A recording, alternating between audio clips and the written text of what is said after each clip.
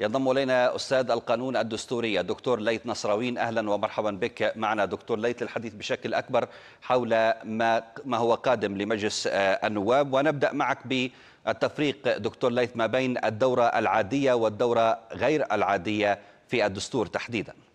نعم مساء الخير أخي العزيز. الفرق الأساسي بين الدورة العادية والدورة الغير عادية تكمن في موعد انطلاقها. الدورة العادية حدد لها المشرع الدستوري موعد في الأول من تشرين أول من كل عام في واحد عشرة من كل عام. خارج هذا الموعد تكون الدورة غير العادية. بالتالي طالما أن جلالة الملك قد دعا مجلس الأمة للاجتماع في العشرة 12 أو 10 كانون الأول ستكون هذه الدورة دورة غير عادية. هذا هو الاختلاف الأساسي بينها. الاختلاف الثاني فيما يتعلق برئاسة مجلس النواب. اليوم مجلس النواب جديد بحاجة إلى انتخاب رئيس لمجلس النواب ومكتب دائم من النواب من النواب. من المساعدين والنائب الأول والنائب الثاني. الرئيس في الدورة غير العادية لن يكون لمدة سنتين كما هو الحال في الدورة العادية. الرئيس القادم من مجلس النواب سوف تبدأ ولايته في 10 12 2020 وسوف تنتهي في 30 9 2021 لماذا 30 9 2021 لكي يبدأ مجلس الأمة في 1 10 2021 الدورة العادية الأولى للمجلس القادم فرئيس مجلس النواب القادم لن يكون لدورتين سيكون لتقريبا حوالي عشرة أشهر رئاسة مجلس النواب. هذا هو الاختلاف الأساسي بين الدورة العادية والدورة غير العادية. بعكس أو خلاف ذلك الدورة غير العادية ستكون لستة أشهر ويحق لجلالة الملك أن يمددها ثلاثة أشهر.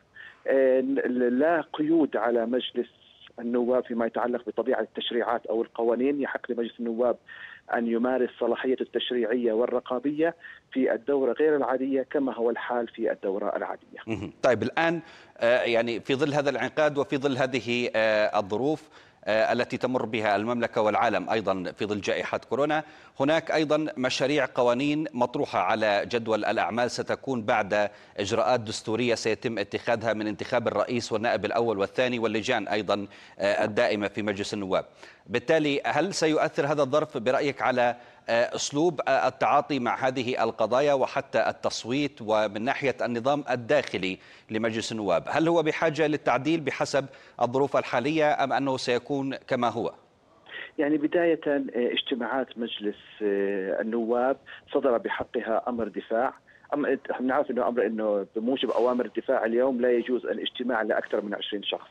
صدر أمر دفاع أخير استثنى من هذا الحكم اجتماعات السلطة الدستورية، بمعنى أصبح يمكن لمجلس النواب أن يعقد جلساته، طبعا مجلس النواب والأعيان أن يعقد جلساته التي تتضمن أكثر من 20 شخص في مكان في موقع معين دون أن يشكل هذا مخالفة لاوامر الدفاع، فبالتالي القبة أو مجلس الأمة أو القاعة قبة مجلس الأمة يجب أن تجهز بطريقة تضمن التباعد بين النواب، تضمن إجراءات الصحة والسلامة العامة، فهذا فيما يتعلق بالإجراءات، فيما يتعلق في مكان انعقاد اجتماعات المجلس ستبقى داخل القبة، سيكون إجراءات العمل والتصويت والكلام كالإجراءات الاعتيادية المعتادة لكن لابد من ضمان التباعد بين النواب لابد من ضمان أقصى درجات الحيطة والحذر وعدم وجود هناك اكتظاظ في أماكن معينة داخل المجلس. طيب الآن في ظل الحديث أيضا عن الظروف الحالية دكتور ليث وما سيتعاطى معه مجلس النواب وأعضاء مجلس النواب القادم من خلال طبعا خطبة العرش التي سيلقيها جلالة الملك أو حتى يستطيع جلالته بسلطاته بأن ينيب رئيس الوزراء أو أحد الوزراء ليقوم بمراسم الافتتاح. الآن نتحدث عن الدور الذي سيقوم به مجلس النواب الأولوية أين ستكون في هذه المرحلة؟ نتحدث عن منح الثقة لحكومة بشر الخصاونة. نتحدث أيضا عن منح الثقة للوزارات في البيانات التي ستقدمها هذه الوزارات. بالإضافة إلى يعني مواضيع أخرى ستكون مطروحة ومشاريع قوانين ستكون مطروحة على جدول مجلس النواب في المرحلة القادمة. فبالتالي الأولوية كيف ستكون؟ ونتحدث عن ناحية تشريعية إن كانت موجودة. كيف سيكون التعاطي معها من قبل مجلس النواب؟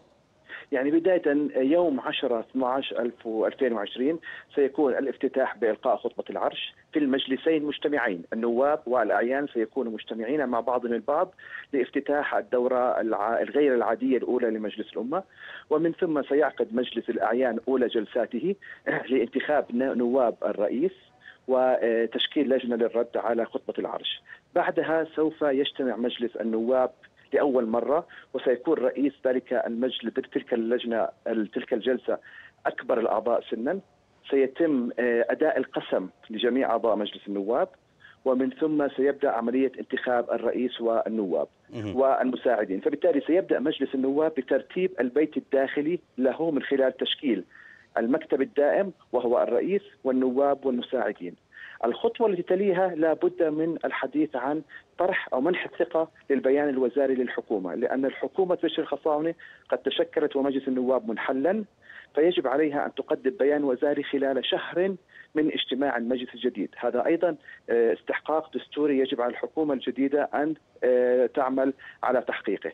هذا على الصعيد الدستوري. أما على الصعيد التشريعي نحن لدينا اليوم قانون الموازنة العامة وقانون الوحدات الحكومية أقرت الحكومة. هذا القانون بحاجة إلى سرعة إقراره من قبل مجلس الأمة بشقيه الأعيان والنواب لكي نحاول أن تبدأ السنة الميلادية القادمة والسنة المالية القادمة وقانون موازنة 2021 قد تم إقراره.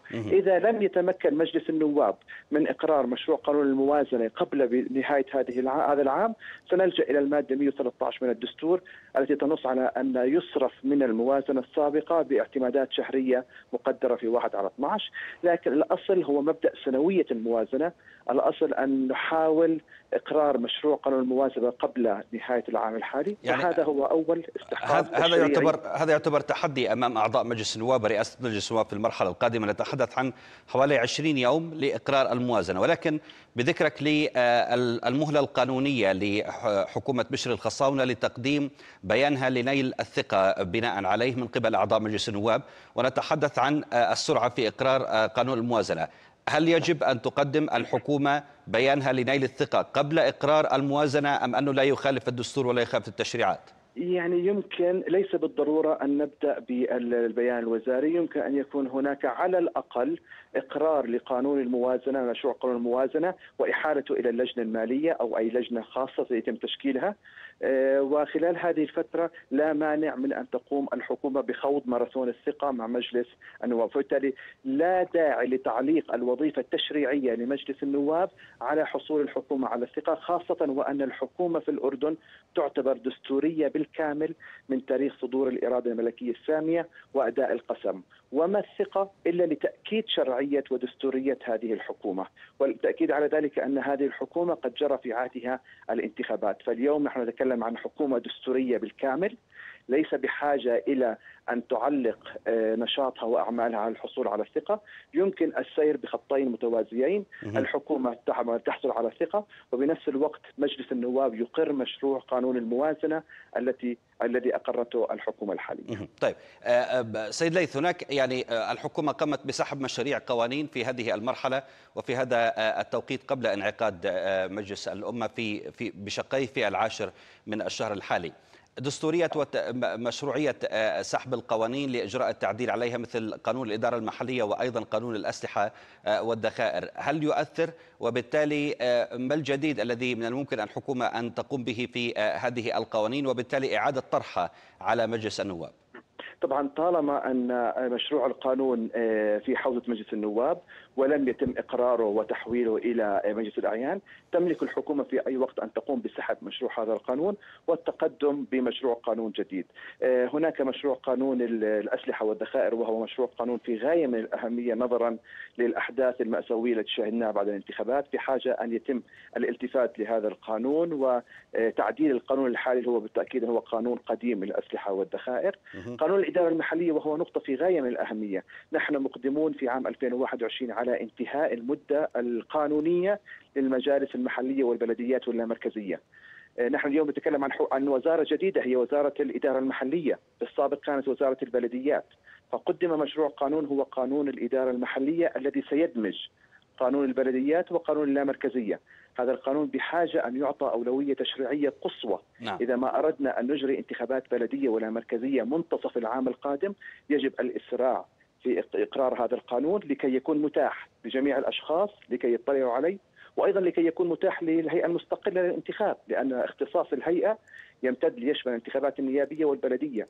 يجب على الهيئة أن تبدأ تعد العدة من اليوم أو منذ إقرار القانون لكي آه، تقوم على إجراء انتخابات بلدية ولا مركزية وبموجب القانون الجديد، فكلما أسرع مجلس النواب في إقرار هذا القانون كلما مكن الهيئة والأشخاص الراغبين في الترشح من معرفه القواعد القانونية لإجراء انتخابات في منتصف العام القادم. أشكرك على كل هذه التفاصيل أستاذ القانون الدستوري كنت معنا دكتور ليث نصراوي شكرا جزيلا لك.